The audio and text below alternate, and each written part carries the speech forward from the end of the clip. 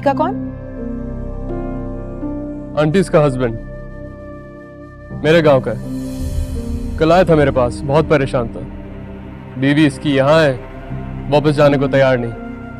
पीछे दूध पीता छह माह का बच्चा छोड़ आई है। रो रहा था। फिर मैंने उसे तसल्ली दी। मैंने कहा, तू फ़िक्र मत कर। मैं खुद वहाँ जाकर अपनी गाड़ी में बिठा के तेरी बीवी को ले आऊँगा। और मुझे पता है कि तस्कीन आंटी मुझे तो मना करेंगी नहीं। तुम्हें किसने कहा कि मैं तुम्हें मना नहीं करूँगी? नाजमा कहीं नहीं जाएगी। तस्कीन एक बार वलीद की बात तो सुन लो कि वो क्या कहना चाहता है। मुझे किसी से कुछ नहीं सुनना। उस लड़की की हालत उसकी कहानी बता रही है। मैं वलीद की बात नहीं मान सकती। आंटी आप मुझे ऐसे रिजेक्ट कैसे कर सकती हैं? मैं आपका बेटा नहीं हूँ। ऑफ़ कोर्स तुम हो। That's why you very dear to me लेकिन ये मामला अलग है। इनफैक्ट अगर तुम मेरे बेटे हो तो तुम्हें तो खुद रियलाइज़ करना चाहिए कि इसका वहाँ जाना बिल्कुल ठीक नहीं है। गलत होगा इसके लिए। असल में बात यह है कि ये सेल फ़ोन ये मीडिया ये ड्रामे देख देख कर इनका दिमाग खराब हो चुका है। एजुकेशन बिल्कुल है नहीं, सिर्फ़ जहालत। और इस जहालत में इनको सिर्फ़ एक्शन लेना आता है। अपना दूध पीता बच्चा फेंका, घर से चल निकली थी। आज़ादी मांगने एग्जैक्टली दैट्स माई पॉइंट कोई भी माँ अपना बच्चा नहीं छोड़ सकती। बच्चे में माँ की जान अटकी हुई होती है और उसने दूध पीता बच्चा छोड़ दिया। क्या क्यामत ढाई होगी उसने? जस्ट इमेजिन क्योंकि सिर्फ़ क्यामत वाले दिन ही एक माँ अपने दूध पीते बच्चे को छोड़ सकती है। नाजमा, यहाँ आओ। जस्ट लुक एट हर देखो इसकी हालत। अभी तो बहुत बेहतर है। इस बेचारी की कंडीशन तो इससे भी बुरी थी जब ये आई थी तो। पुअर गर्ल मेरे ख्याल से आंटी ये इसका और इसके हस्बैंड का पर्सनल मैटर है। और वैसे भी आप कब तक किसी और की बीवी को अपनी पनाह में रखेंगे? जाना तो पड़ेगा ना इसे। मेरे ख्याल में तुम्हारे और मेरे से बेहतर है कि नाजमा इस फैसले को करे। नाजमा जाना चाहती हो तुम? नहीं बीबी जी मुझे नहीं जाना। खुदा का वास्ते मेरा बच्चा मुझे वापस दे दे। तुम्हें कोई कहीं नहीं भेज रहा। घर के अंदर जाओ। जाओ। इनका जाती मामला तब तक था, जब तक अपने खामन से तशद्दुद सह रही थी। अब ये मेरी पनाह में है, मुझसे मदद मांग रही है, और मैं मदद दूँगी। I am not going to back off do you hear that इनके यहाँ बीवी से बात करने का अंदाज यही होता है। इसकी आदि होती है ये, और ये सिलसिला तो हमेशा चलने वाला है। माँ जी ये सिलसिला भी तब तक चलता रहेगा जब तक मेरे और आप जैसे लोग इन मजलूमों के बारे में बात नहीं करेंगे। कुछ कहेंगे नहीं। हाँ खामगा इसका घर खराब होगा। कौन सा घर माँ जी? वो घर जिसमें इंसान अपनी मर्ज़ी से महफूज तरीके से नहीं रह सकता। उस घर में जिसमें बीवी को रोज अपने खामन से तशद सहना पड़ता हो रोज पिटती हो वो वो घर नहीं जिंदान होता है। मैं नाजमा को उस जिंदान में वापस नहीं भेजूँगी। बिल्कुल भी नहीं। मुझे अब चलना चाहिए। वलीद डिनर मैं आज डिनर नहीं कर पाऊँगा। बेटा श्योर वो नाराज़ होकर गया। तो ना होता इस घर का दामाद समझकर उसने हुज्जत की थी। माँ जी मैंने सही को सही और गलत को गलत ना सिर्फ़ समझा है बल्कि उस पर अमल भी किया है। अगर इसकी जगह कुमैल भी होता ना तो मेरा जवाब यही होता बल्कि शायद इससे सख्त होता क्योंकि वो तो फिर भी मेरा बेटा है। गजनफर अगर कल को बख्तैन को इस बात का खुमियाजा भुगतना पड़ा ना तो तुम शिकायत करने की पोजीशन में नहीं होगे। अम्मी अगर मैं तस्कीन की जगह होता ना और मैंने उस लड़की को उस हालत में देखा होता तो शायद मैं भी उसे वापस नहीं भेज पाता। तस्कीन की हर बात ठीक नहीं होती गजनफर लेकिन उसकी हर बात गलत भी तो नहीं होती अम्मी।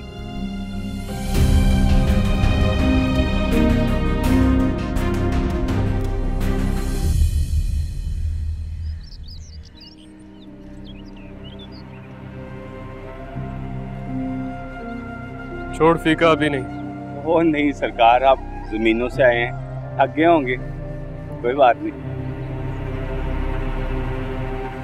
आ जाएगी तेरी बीवी कुछ अरसे में। अपने मालिकों के साथ शहर गई हुई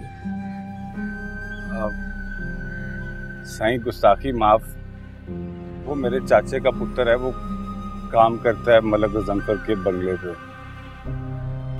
वो बता रहा था कि मेरी बीवी नाजमा उधर ही है। क्या मतलब है तेरा? हाँ? बोलना क्या चाहता है? तेरे चाचा का बेटा सच्चा मैं नहीं नहीं नहीं सरकार। मेरा ये मतलब हरगिज नहीं था। मेरे मेरे माँ बाप आप आप पे कुर्बान। उसे कोई गलत फहमी हुई होगी। माफ़ कर दें सरकार। दफ़ा हो जा। दफ़ा हो जा। निकल।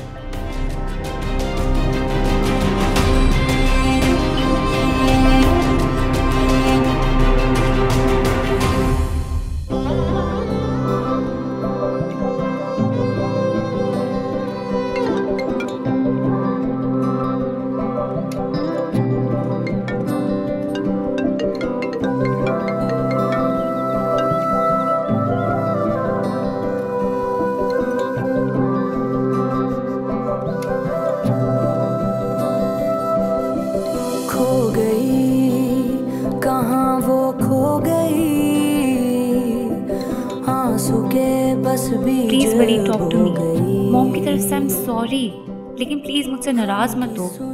बात तो करो मुझसे प्लीज़ खुली आँखें थी पर वो सो गई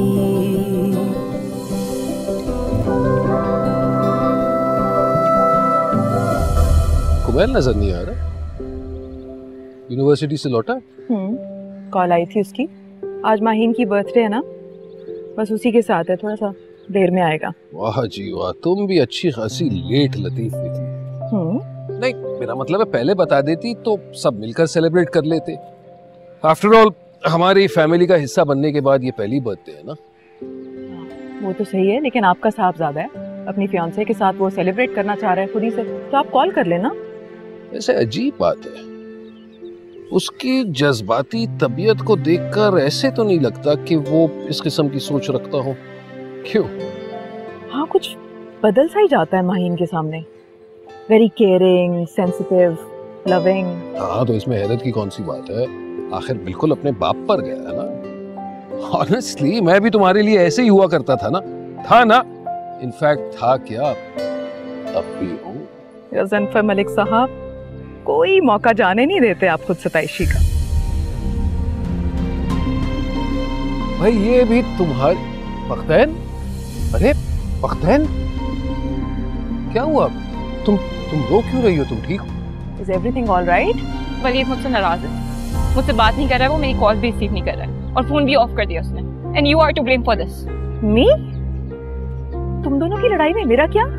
लड़ाई नहीं हुई है हमारी। तो फिर क्या हुआ? वो नाराज़ होकर चला गया था यहाँ से वो भी मम्मा की वजह से। तो ये मेरा और उसका मामला था। तुम्हारे से नाराज़ होके वो बात को क्यों बढ़ा रहा है? सीरियसली मॉम एक मुलाजमा के लिए आप वलीद को नीचा दिखा रही थी। देखिए गजनफर मुलाजमा से पहले वो इंसान है और मैं वलीद को नीचा क्यों दिखाऊँगी? मुझे जो ठीक लगा मैंने वो किया। डैड इसी वजह से वो नाराज़ होकर गया है यहाँ से और मॉम को मेरा बिल्कुल भी एहसास नहीं है। अच्छा जरा आकर बैठ तो जाओ। आओ शाबाश।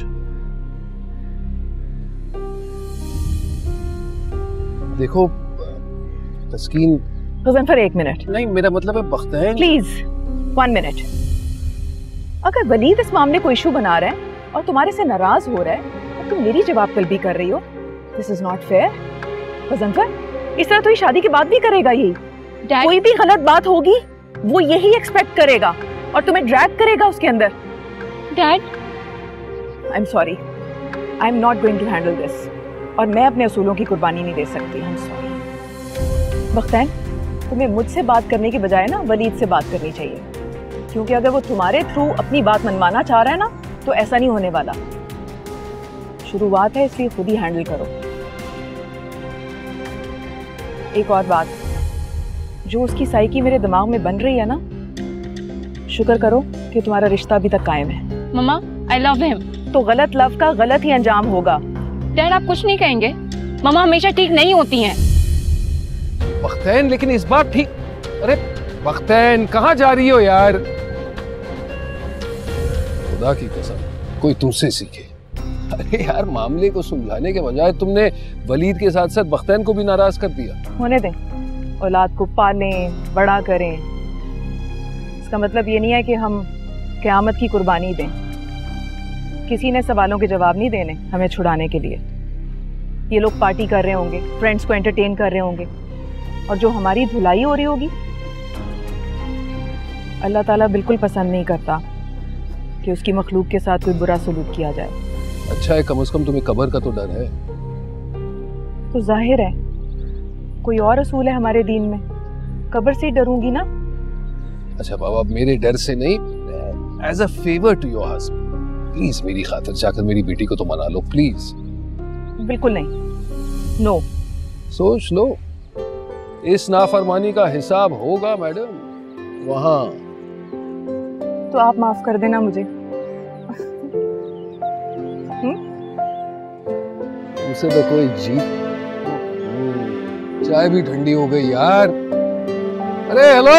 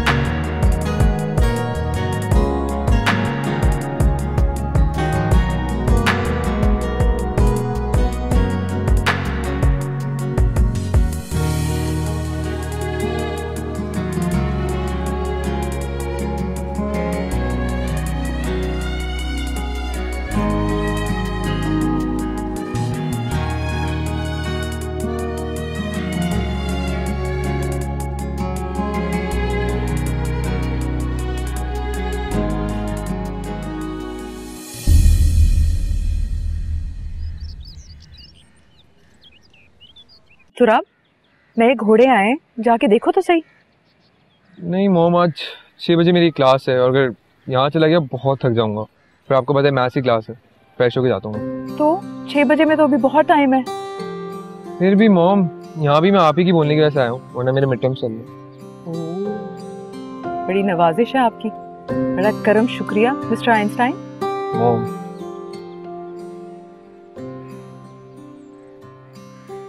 है ना? कब तक मुँह फुलाए रखोगी अब? प्लीज़ बस करो ना। ओ मॉम आज तो आपकी ऐना की आँखों से फायर बॉल्स आ रही हैं। Turab don't call me Aina okay yes सिर्फ़ मैं कह सकती हूँ है ना और कोई भी नहीं। है ना है ना मामा लव्स मी देखिए देखिए मॉम इसको देखें कैसे मुस्कुरा रही है और फिर आपको एटीट्यूड भी दिखाती है। तुराब तंग मत करो मेरी बेटी को। मामा आप भी ना हमेशा अपनी करती हैं और फिर नाराज़ भी नहीं होने देती है। मैं अपनी बेटी को नाराज़ देखना ही नहीं चाहती। क्यों हो मेरी बेटी मुझसे नाराज़? हम्म? वलीद को इनवाइट किया कल? आप बुला लेना। मैंने उसकी मॉम को तो इनवाइट कर दिया है। और आप बुलाएँगी तो अच्छा लगेगा। वैसे भी गुस्सा है वो आपसे। मैं क्यों बुलाऊं? तुम बुलाओ। मामा आपसे ना कुछ एक्सपेक्ट ही नहीं करना चाहिए। एना कहाँ जा रही हो? एना? अब क्या हुआ? वही मोम और ऐना का डब्ल्यू डब्ल्यू एफ़ तुराब क्या हुआ? ठीक ही तो कह रहा हूँ मैं। अब क्या वजह बनी इस मैच की? वो वलीद के प्रोटोकॉल के लिए परेशान थी। और मोम हमेशा की तरह किसी को प्रोटोकॉल देने के लिए तैयार ही नहीं थी। चाहे वो उनका सन इन क्यों ना हो। वैसे कितनी स्ट्रेन बात है ना मॉम। अक्सर लड़कियाँ अपनी मॉम्स की बेस्ट फ्रेंड होती हैं। अब माहिन को ही देख ले। बकौल उसके वो और उसकी मॉम बेस्ट फ्रेंड्स हैं माँ बेटी होने के बजाय। फिर आपके साथ ऐसा क्यों नहीं? मेरा बेटा मेरा बेस्ट फ्रेंड है। है ना? ये अच्छा पॉइंट है। और मैं? ऑफ़ कोर्स तुम भी। और जो नाराज़ होके गई है वो? उसकी आदत है। जब मर्ज़ी होती है नाराज़ हो जाती है। और जब मर्ज़ी होती है ठीक हो जाती है। गुस्सा ठंडा हो जाएगा तो आ जाएगी। मगर वली उससे अपसेट है मऊ तो उसकी अपनी चॉइस है। अब शादी के बाद क्या हम प्रॉब्लम्स रिजॉल्व करते फिरेंगे? करने दो खुद ही हैंडल कर लेगी। मामू। अस्सलाम दावर भाई। वालेकुम सलाम। अस्सलाम कैसे आप? क्या हाल है? ठीक है? माशाल्लाह। चलो चलो। तुम्हें कुछ सिखाऊं? आप प्लीज़ बैठे। उम्र से पहले बड़ा कैसे हैं दावर भाई? हाँ घोड़े दिखाऊँ। मैं बिल्कुल ठीक।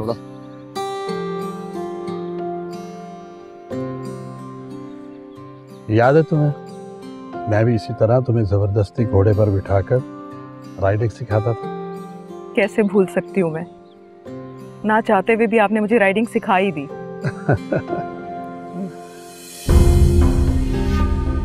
गंदम की फ़सल पककर तैयार हो हमारे सारे मुरब्बे एक तरफ़ और ये ज़मीन एक तरफ़।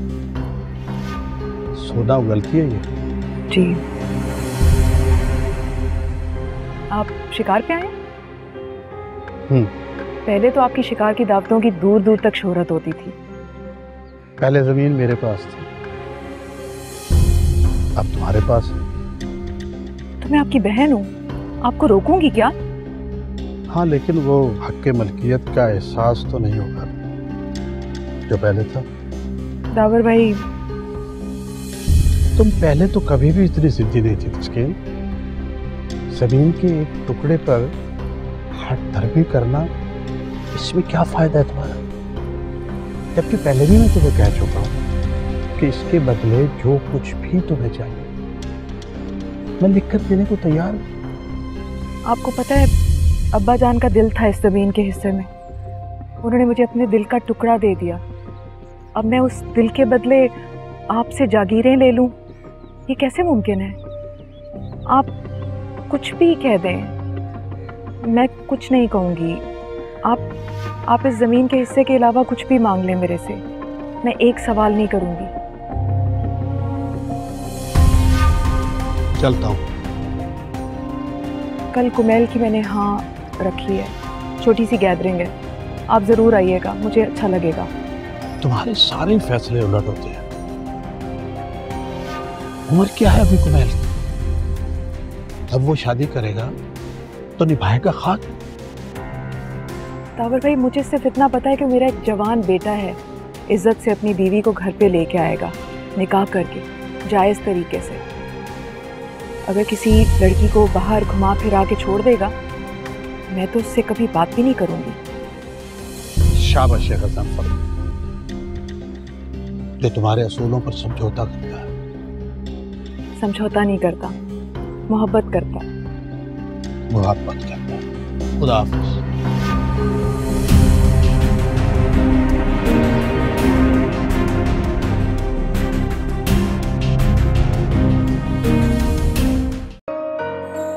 आपको बुरा नहीं लगा?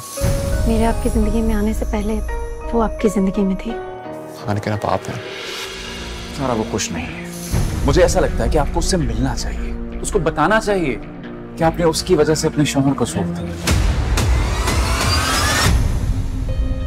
दोस्त तो वो उनकी नहीं थी। दोनों के दरमियान फासले भी बहुत थे। लेकिन दिल तो आज भी जुड़े हैं ना। वो तो मैं उन दोनों के दरमियान आ गई। वरना आज सारा और हनान एक होते।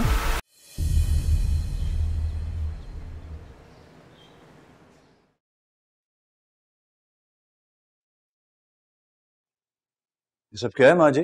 कोई आ रहा है क्या? जी नहीं ये अरे नहीं कोई आ नहीं रहा बल्कि मैं जा रही हूँ। कहाँ कहाँ जा रही हैं आप? अरे तुम लोग बुत बनी क्यों खड़ी हो यहाँ पे? जाओ चलो जाके ये रखो गाड़ी में और पिछली वाली गाड़ी में तुम दोनों बैठो चलो। अम्मा जी आपने जवाब नहीं दिया। कहाँ जा रही हैं आप? अरे बताती हूँ जरा दम तो लो अभी आए हो। अम्मा जी। तुम्हारे लिए रिश्ता देखने जा रही हूँ। क्या? क्या मतलब है इस बात का? अरे मतलब साफ़ है बेटा कि लड़की मैंने पसंद कर ली है। डॉक्टर है वो भी तुम्हारी तरह।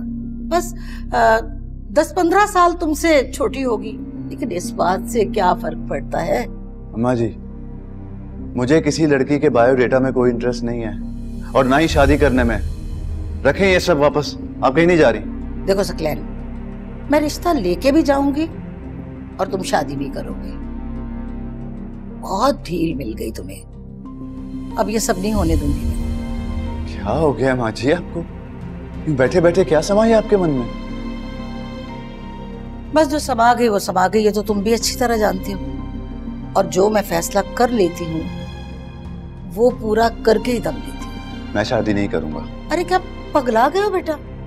वो गजनफर कुमैल की शादी कर रहा है। एन मुमकिन है वो अपनी बेटी को भी ब्याह दे। और तुम तुम यूँ ही बैठे रहना। वो लोग जो करते हैं मुझे उससे फ़र्क नहीं पड़ता माँ जी। लेकिन मुझे फ़र्क पड़ता है। अरे गजब खुदा का। उनके घर में खुशियों ने बसेरा डाला हुआ है। आए दिन उनके घर में चरागा होता है। और मेरा बेटा मेरे बेटे की ज़िंदगी में अंधेरा कर दिया। ये मैं नहीं होने दूँगी। हाँ वो मेरी चॉइस है माँ जी। और ये मेरी चॉइस है बेटा।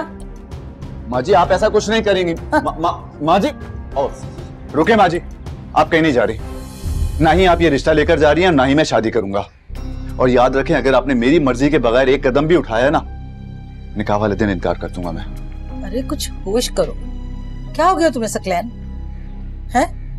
ये ये किस तरह की बातें कर रहे हो तुम? ये जो तुम कर रहे हो ना, कॉलेज, यूनिवर्सिटी के लड़कों वाला बिहेव, मत करो। मत तमाशा लगाओ इस तरह। अपनी उम्र देखी है तुमने?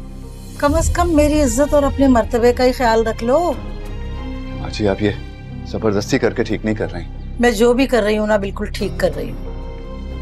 लेकिन मैंने तो देर कर दी। ये ज़बरदस्ती मुझे बहुत पहले करनी चाहिए थी।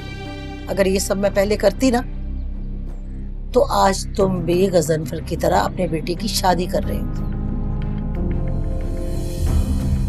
जी बस बहुत हो गया। मैं फैसला कर चुकी और अब ये शादी हो के रहे। कोई नहीं रोक सकता। माँ जी। अच्छा,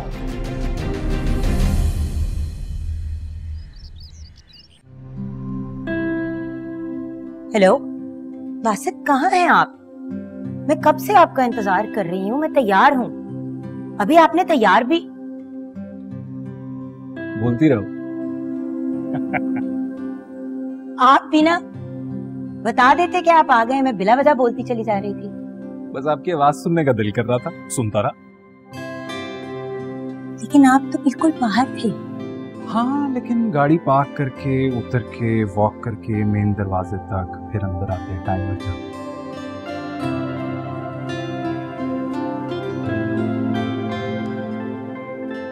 तो वो वाला सूट है जो मुझे पसंद था। एग्जैक्टली आप भी कोई मौका मिस नहीं करते।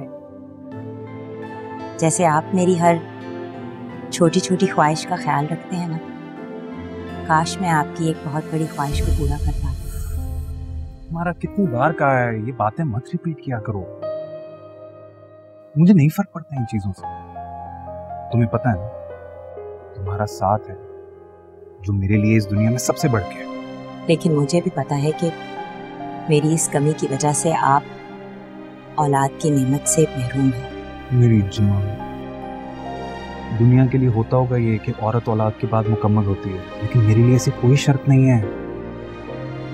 मेरे लिए तुम मुकम्मल औरत और खुदा की कसम बहुत पसंद हो मुझे। इमोशनल नहीं हो। लेट नहीं हो रहे अब हम। टाइम देखो क्या हो गया। आप भी ना मुझे बातों में बिज़ी कर देते हैं। जाए, जल्दी से ऊपर जाके चेंज करें। बस पंद्रह मिनट में आ रहा कपड़े मैंने लटका दिए हैंगर के ऊपर। थैंक यू सलामकुम सकलैन भाई। कैसे हैं आप? हेलो हमारा फ़ौरन यहाँ आओ अभी और इसी वक्त। अभी तो बिल्कुल भी मुमकिन नहीं है मैं अभी बासित के साथ आपका रिश्ता लेने जा रही हूँ। तो तुम जानती हो कि अम्मा क्या करने जा रही हैं? और तुम उनका साथ दे रही हो हाँ? हाँ भाई लड़की मैंने ही ढूंढी है। आपको माँ जी ने बताया नहीं? बहुत अच्छी लड़की है। हमारा लेकिन तुम जानती हो कि मैं बख्तावर के पीछे मत भागे भाई। जैसा आप चाहते हैं आपको पता है माँ जी ऐसा कभी भी नहीं होने देंगी। हमारा मेरी बात सुनो। ये मेरी ज़िंदगी है। मैं डिसाइड करूँगा मुझे तनहा रहना या किसी के साथ। हाँ? तुम और अम्मा इस बात का अख्तियार नहीं रखते ओके? सकलैन भाई हम आपके अपने हैं। हमें आपके भले का ख्याल है। हम आपको खुश देखना चाहते हैं आपको खुशियाँ देना चाहते हैं। इसलिए माँ जी आपके लिए ये फैसला कर सकती हैं। हमारा हमारा जो खुशियाँ तुम मुझे देना चाह रहे हो मुझे वो कबूल ही नहीं है। शादी होगी तो आप सब भूल जाएँगे। मैं भी तो गजनफर को भूल गई हूँ ना। गजनफर भाई। हमारा तुम गजनफर भाई से प्यार नहीं करती थी लेकिन मैं बख्तावर से प्यार करता हूँ। मुझे माँ जी की कॉल आ रही है मैं फ़ोन बंद कर रही हूँ मैं आपसे बाद में बात करूँगी। मुझे जाना है। नहीं, नहीं, हमारा, हमारा सुनो। हेलो।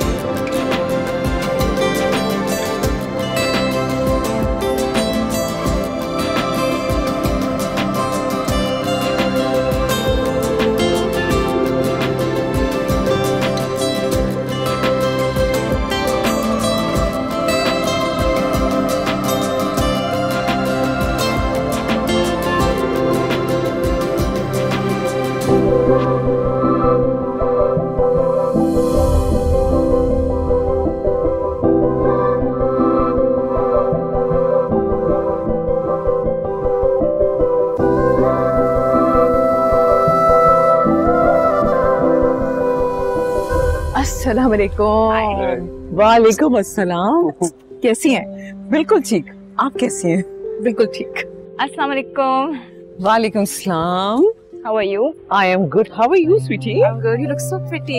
Thanks, बेटा. Sorry, uncle. वलीद कैसे हो? I'm good. अच्छा है ना इनको प्लीज़ बिठाओ उधर जी वलीद वलीद आओ गेस्ट से मिलवाऊं No, no, I'm I'm okay. अरे आओ तो सही। आओ। तो आपको सब कुछ अच्छा जारा लगा? जी। एंगेजमेंट पे तो तुम्हारी मुलाकात हुई होगी लेकिन अब मैंने सोचा कि तुम्हें इंट्रोड्यूस करवा दूँ। Aina's fiance nice to meet you Waleed he is a Harvard graduate really that's great dad का बिज़नेस संभाल रहा है अपना और फार्म्स भी साथ में।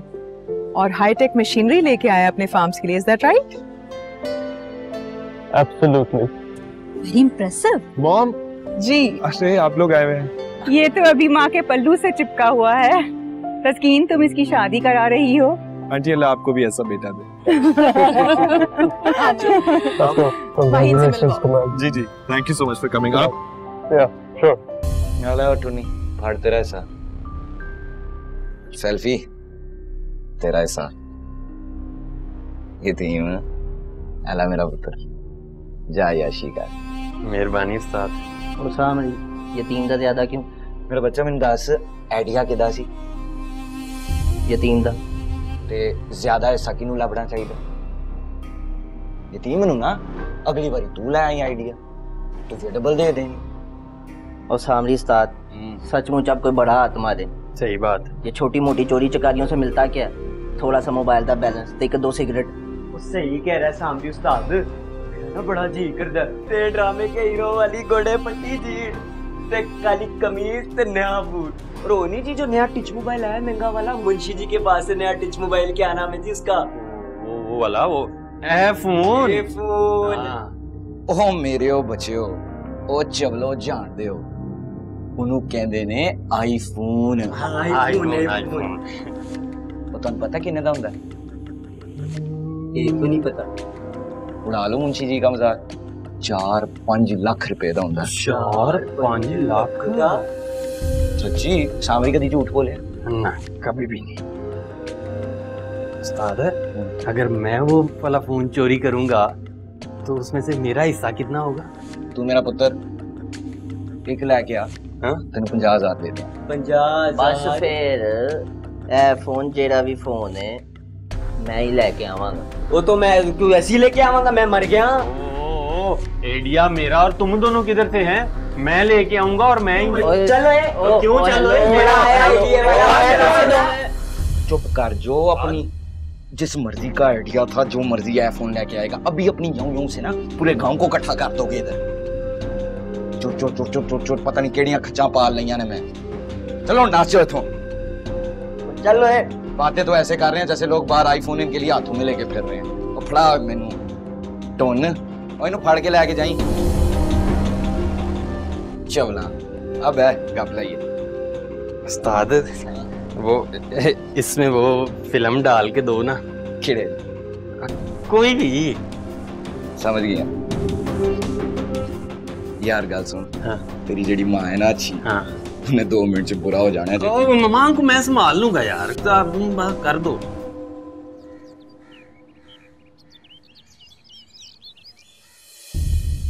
बेगम साहबा जी मेरे दोतरे नु बड़ा बुखार है जी ते बड़ा कमज़ोर हो गया सुख सुख के। तुम्हें किसने बताया? मैं आज पीके के पास गई थी मैंने उसको बड़ी मिन्नतें की मुझे मेरा बेटा वापस कर दो। उसने मुझे मेरा बच्चा वापस नहीं किया वो इतना जालिम है मुझे उसने देखने तक नहीं दिया। वहाँ कोई देखभाल करने वाला भी नहीं है। मेरी मासी की बेटी बता रही थी बच्चा बहुत रोता है। अगर कोई हमसाए के घर से पता करने जाए ना तो उसको घुसने नहीं देते। आप हमारी मदद करें। मेरा बच्चा मुझे वापस करवा दे। उसकी तो तबीयत भी ठीक नहीं है ना जाने वो किस हाल में होगा। हम गरीब लाचार क्या करें जी? मैं साथ जाऊँगी और बच्चा लेके आएँगे ठीक है? और हो नहीं सकता कि वो बच्चा वापस ना दे। आप जी? हाँ जी मैं। फरीदा ड्राइवर को बुलाओ जल्दी से गाड़ी निकाले। आ जाए। कैसे हो सकता है कि बच्चा वापस नहीं करेंगे? अस्सलाम वालेकुम चाचा की हाल ने वालो सुनाओ बच्चियो बेटो।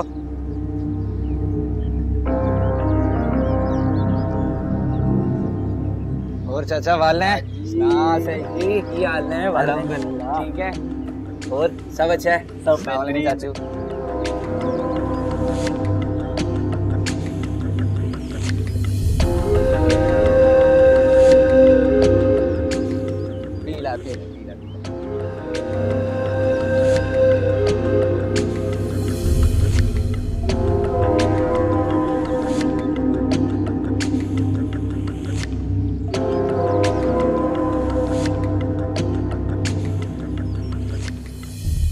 कर रहे हैं पागल हो गए हैं। वो मर जाएगा बच्चा। है वो तो मरने दे। वैसे रो रो के इसने आसमान सर पे चुका हुआ है। वो बुखार है इसको। अच्छा जी बड़ा आया डॉक्टर। ओ मासी तो तुझे कहा था ना कि यहाँ आई तो टांगे तोड़ दूँगा तेरी। क्या लेने आई है। हाँ आ गई है फिर से। हिम्मत है तो टांगे तोड़ के दिखाओ। फिर देखो अपनी टांगे किस तरह बचती हैं। क्योंकि ये तो बेगम साहिबा है। सही मलिक हजनफर की घर वो वाली पता है मुझे यही है वो जिसने मेरी बीवी को अगवा किया हुआ है। अगवा? तू तेरी तो। खबरदार एक कदम भी आगे बढ़ाया ना बाहर के गार्ड से तुम्हारे टुकड़े टुकड़े करवा दूँगी। वाह भाई वाह वाह और लोगों इधर आओ और बात सुनो इधर आओ। मलक गजनफर की ली मेरे ही घर में खड़े होके मुझे धमकियाँ दे रही है। वाह भाई वाह। ज़्यादा नाटक करने की ज़रूरत नहीं है। बच्चे को माँ को दो। दो और बच्चे का इतना ही ख्याल था इसको तो छोड़ के क्यों गई थी? यहाँ रहती तो ज़िंदा बचती। और मैंने क्या किया है? क्या किया मैंने? और बताओ जी इनको बताओ जरा। और भाभी आप बताओ आपका कसम नहीं मारता तुझे? और मासी तेरे बंदे ने तो तुझे सोटियों से मार मार के पता नहीं क्या कर दिया था तेरा और जब तूने चाह डोल दी थी उस पे। अच्छा ठीक है ठीक है। बेगम साहबा यहाँ पे यही चलता है। पर आप मुझसे मेरी बीवी छीन लो मेरा बच्चा छीन लो ये नहीं हो सकता। बच्चे की हालत तो देखो गश हो रहा है वो। रहम करो उस पर तुम्हारा ही बच्चा है वो। हाँ क्या तो आप ठीक रही हैं? हाँ भाई ले जा। नाजमा आ जाओ। हाँ ना। जाओ मैं इधर ही हूँ। जाओ मैं इधर ही हूँ। जाओ।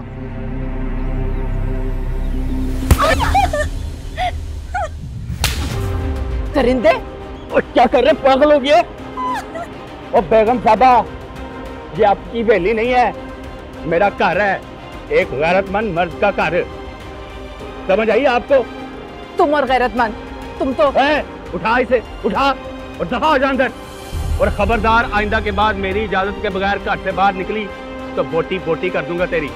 तुम कहीं नहीं जा रही। जा जा। क्या कर रही हो तुम?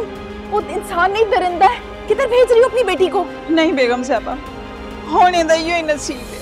बेगम साहबा दरिंदगी आपने अभी देखी नहीं है। फीके को थप्पड़ मार के अच्छा नहीं किया आपने।